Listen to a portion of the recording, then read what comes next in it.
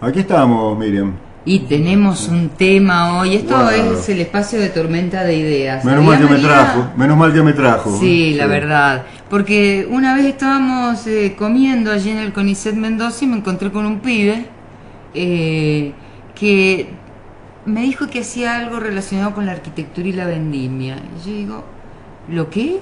Porque siempre pensé que vendimia tiene que ser un eh, espacio único dentro del gobierno de Mendoza. Es decir, como un ministerio. Claro, El sí. Ministerio Vendimia. Sí. Bueno, y entonces este le dije, ¿te animás a venir a la radio? Él se llama Franco Marchione o Franco Marchione, como Marchioni, como usted le quiera decir, y ha estudiado de todo. Por ejemplo, Marco, buenas tardes. Eh, bueno, buenas tardes en primer lugar. Eh, bueno, he estudiado en primer lugar eh, mi carrera de arquitecto. Eh, yo estudié en la Universidad de Mendoza y mm, una vez recibido seguía con esa inquietud de seguir estudiando, seguir Me encantó investigando. eso que nos decía antes de, de largarlo al aire. Dice, me recibí, tenía esto y como yo no sabía nada, tenía que seguir estudiando. No bueno. sabía qué hacer, una maravilla. ese, ese sentimiento, ¿no? De, de seguir eh, indagando, investigando.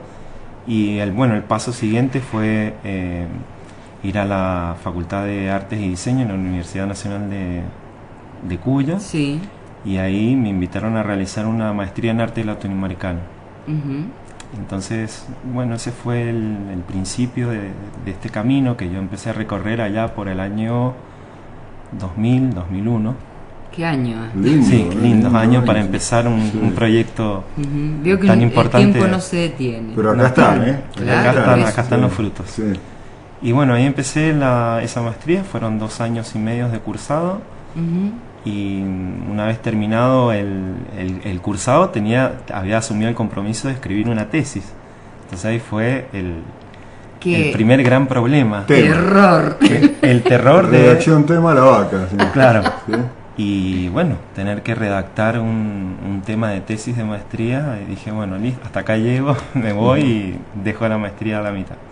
Entonces, bueno, surge esto de, de esta, esta, digamos, obligación, entre comillas, de tener que, una obligación académica, de tener que resolver todo ese proceso con una tesis, Ujú. una tesis de maestría, y surge la idea con siempre con estos comentarios profundos y íntimos con mi papá de decir qué, qué tema planteo y bueno, eh, como les había contado un poco al principio, en, en nuestra familia ha habido luthiers, eh, eh, artistas de cine, de teatro, mi nono era fotógrafo profesional y, y tenía un estudio de fotografía que atendía a todo el público, entonces siempre hubo en la familia ese tipo de inquietudes y bueno, mi papá, el testimonio que tengo de mi papá de haber eh, trabajado durante muchos años en, en las fiestas de la vendimia, en la, nacional y en las departamentales y tener la suerte, la, esa estrella de poder haber trabajado con,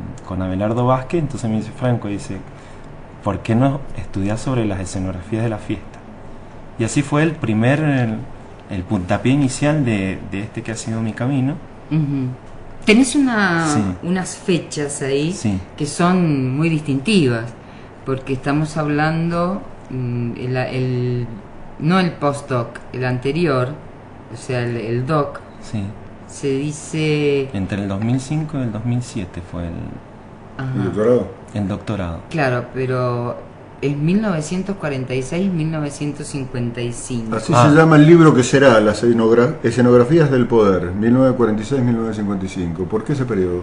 Bueno, un poco eso, eh, es- ese periodo está lleno de, de aristas, digamos, y, y es un periodo que reviste un, un interés profundo, particular y maravilloso para mí en desde mi mirada.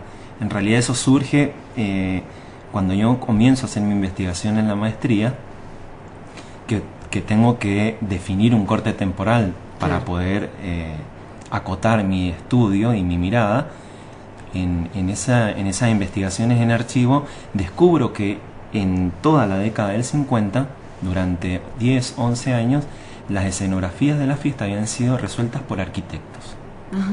Entonces dije, uy, sumamente interesante y en ese momento apunto eh, el desafío de, una vez terminada la maestría, volver, insistir sobre ese periodo, a ver el porqué y a, ver, a tratar de formularme nuevas preguntas, que eso en, el camino que uno hace de investigación, siempre en ese, en ese caminar van eh, quedando como esas puntas a las que uno después de concluida una tarea vuelve otra vez. Creo que la investigación es la más generadora de preguntas de las actividades, claro, ¿no? Claro, seguramente, sí.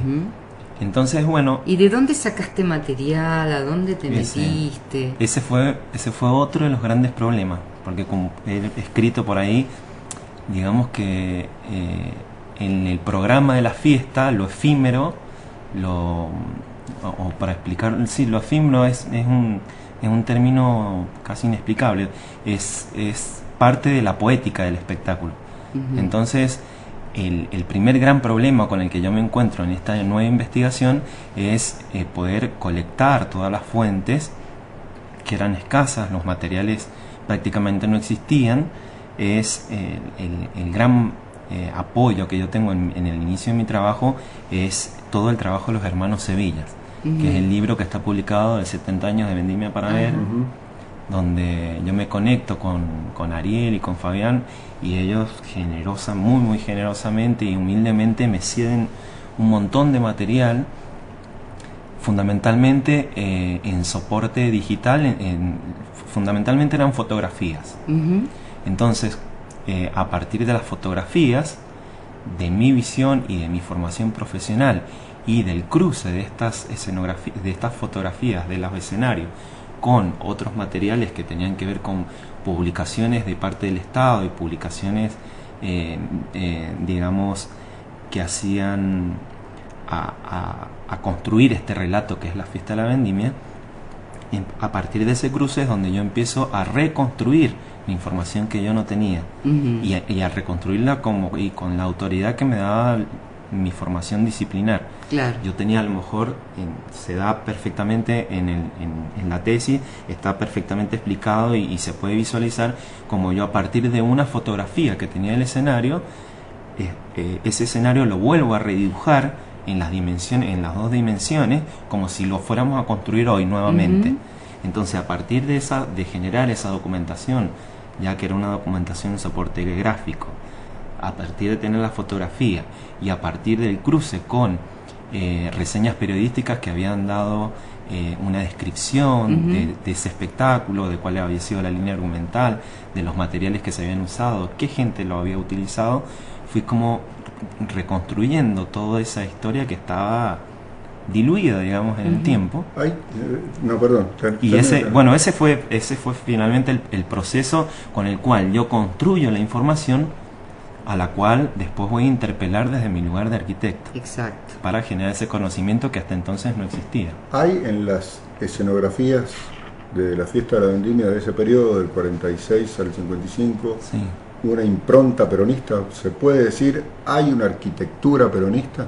Y bueno, un poco eso que me armé de valentía y lo digo en la tesis, sí. Eh, el, nosotros estamos tomando... ¿Por qué tuviste que Claro, porque uno como investigador siempre lo, uno debe ser cauto en lo que dice, ¿no? Y, pensar y, tener claro que lo que uno está diciendo de alguna manera es fruto de una investigación seria y responsable. No es que me inventé yo la pólvora. Claro. O sea, es esa afirmación que sale al final de la tesis un poco trata de explicar eso y por qué. hay que leer el libro, tienen que leer el libro. Todavía, la, que todavía no está. Claro, eso, estamos buscando editorial. Eso, estamos buscando quien quiera apoyar la idea, pero mm, básicamente y muy rápidamente les puedo comentar que eh, una de las claves es esto que habíamos descubierto en, en, mi tesis ya de maestría, que era que lo habían hecho los arquitectos. Porque en la década del 50 hay un, hay un digamos, un proceso mucho más complejo en donde eh, los requerimientos que necesitaba el país en ese momento, por ejemplo, donde el gran problema era la vivienda, los encargados de resolver ese problema eran los arquitectos. Y los arquitectos que habían sido formados todos, eh, en, digamos, en la academia, donde, el modelo era los países del Mediterráneo, de los países europeos del Mediterráneo, en donde estaba, eh, donde se observaba la belleza, las proporciones y, todo ese cúmulo de, ideas que perfilaban un, determinado tipo de arquitecto y se encontraban en, el periodo peronista con un problema concreto a resolver que era la vivienda. Entonces hay como un, giro alrededor de, este campo disciplinar en donde se, se promueve el desarrollo de esta disciplina. Y dentro del programa, el amplio programa a nivel nacional del peronismo de revitalizar las economías regionales, eh, surge como una de las fiestas muy, muy, muy importante o la más importante del oeste argentino, es la fiesta nacional de la vendimia, que, está, que en ese momento no, no tenía el, la asignación de nacional. No tenía el carácter. no, no tenía el carácter, lo va a tener recién en el año 62. Aunque como nosotros, yo digo en la tesis, ya era en ese momento, era de una envergadura nacional, porque respondía a un amplio proyecto que era de, de, escala nacional en el peronismo. ¿Se llamaba concurso todo eh, para...? Sí, se, se, ese, ese, fue, ese fue uno de los problemas, que eh, hay algunos grises todavía en, en esa parte de la historia, porque eh, todo, digamos que de alguna manera, todo lo que se construyó en ese periodo, no solo acotaba a la fiesta, sino en realidad en la obra pública, en la gráfica, estaba todo atribuido al líder. O sea, el líder era el creador. Con lo cual, eh, nosotros terminamos de reafirmar esa, esa situación, esa sentencia, cuando vos eh, vas a buscar e investigar quiénes eran los autores. Había de alguna, alguna manera identificado algunos grupos de eh, profesionales que trabajaban en las oficinas técnicas dependientes de la nación, que digamos en todo el grupo era el autor de las escenografías. Y lo que era importantísimo y está eh, estudiado y analizado en la tesis es que la oficina que tuvo una gran un gran protagonismo y, un, y que le imprimió este carácter de poder, digamos, entre comillas, que hablamos cuando hablamos de la escenografía de ese periodo, es Alejandro Apple, que es el secretario de comunicaciones del, gobierno peronista, la administración peronista, íntimo amigo y colega de, del general Perón, donde eh, por, por los registros históricos que hemos abordado, sí, sí, sí. Eh, estaban muy cerca y, parece evidente que había un diálogo y una cercanía permanente con todos los mensajes de la doctrina política que se, que se iban, digamos, de alguna manera eh, insuflando, si se puede utilizar el término, en, todos los medios posibles de, comunicación y, esos medios eh, que, implicaban las representaciones para eh, dialogar con, la doctrina peronista. Franco, era también una cuestión de época porque en los países, estamos hablando de la década del 40 y del 50, en los países europeos, en Alemania, en Italia, en lo que era la Unión Soviética, había toda esta magnificencia. Una parafernalia. arquitectónica que había que demostrar todo, digamos, ¿no? Eh, esto también, también se vio, ¿hay influencia en ese sentido acá, en, esta época? Sí, mira, en, por lo que yo he estado investigando y en realidad por la, de alguna manera, el perfil estético que se utilizaba en la resolución de estas representaciones, hay muchas investigaciones y muchos autores que vinculan también la estética del peronismo a la estética del, nazismo, del, fascismo, italiano. del New Deal en Estados Unidos y un poco antes en la Revolución Rusa. digamos, y eso está muy claro, es muy fácil de, observar y de probar, sobre todo en las representaciones gráficas de dos dimensiones. Lo que nosotros tenemos de bueno y de, y de importante es que es ese fenómeno que nosotros hemos observado en otros lugares del mundo, acá se pudo observar de alguna manera en la resolución eh, espacial, que es la dimensión que nosotros, yo como arquitecto, me interesó siempre eh, poder indagar. Eso que nosotros veíamos en un, en un afiche eh, que tenía un mensaje y que era directa la relación entre el mensaje y la forma de representarlo, lo podíamos ver en la, en la ejecución de las fiestas de, de las escenografías de la fiesta. ¿Y dónde se hacían las fiestas? Porque no se hacían en el anfiteatro. Claro, no, en el anfiteatro se van a hacer bastante más tarde, se hacían en el Autódromo General San Martín, que era una gran explanada donde daba lugar eh, a, que se generaran estos escenarios.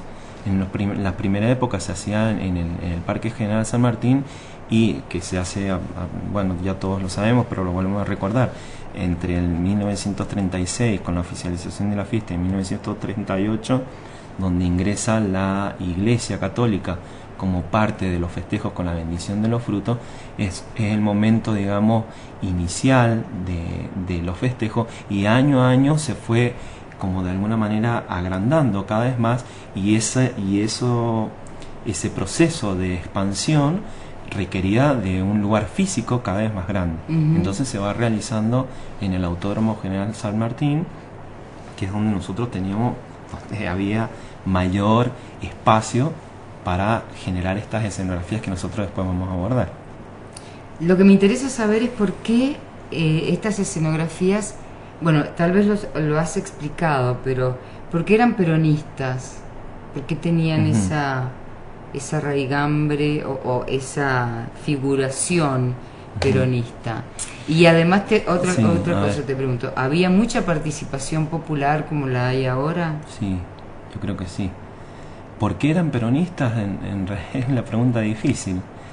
Em, yo creo que eh, estaban asociadas, como te vuelvo a repetir, en, es un fenómeno tan fuerte que, que se, en el que se da en el país a partir del peronismo que involucraba, como te vuelvo a repetir, eh, cualquier actividad. Cualquier actividad, desde, desde, una, desde un partido de fútbol, una carrera en bicicleta, un baile, o la fiesta, la fiesta de la vendimia como otras fiestas. Pero ¿qué tipo de escenografía te hacía sentir? En, realidad, eh, claro, yo explico que son escenografías peronistas, eh, o sea, el, el, por qué son escenografías eh, peronistas surge de la explicación de, de son peronistas, ¿por qué? Porque lo hacen los arquitectos, porque los arquitectos en ese mm. momento están vinculados y tienen un gran diálogo. ¿Qué formas tienen los arquitectos en la cabeza? Y en ese fue ese fue otra, o sea, fue otro, otra característica distintiva del momento y de ese lugar.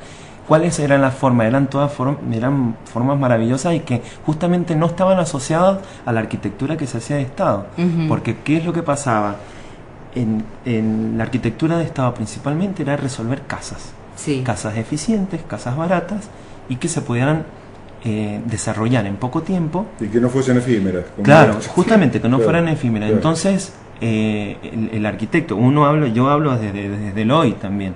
O sea, el, arquitecto que encuentra en, la resolución de las escenografías de la fiesta de la vendima como de otras fiestas y de otras eh, representaciones que ya les, cuento, otras importantes en ese periodo y después son el primero de, del primero de mayo, que es la fiesta del trabajador, donde en el periodismo es absolutamente resignificada, y aparece la otra fiesta que es el 17 de octubre, donde también se generaron eh, palcos oficiales, representaciones, en donde ese era el lugar maravilloso, el lugar soñado de un arquitecto para, para proyectar, porque era cuando tenía ese, ese amplio margen de creatividad. De creatividad. ¿Queda algo eso. en las fiestas actuales de la vendimia? ¿Queda alguna reminiscencia de aquellas este, escenografías?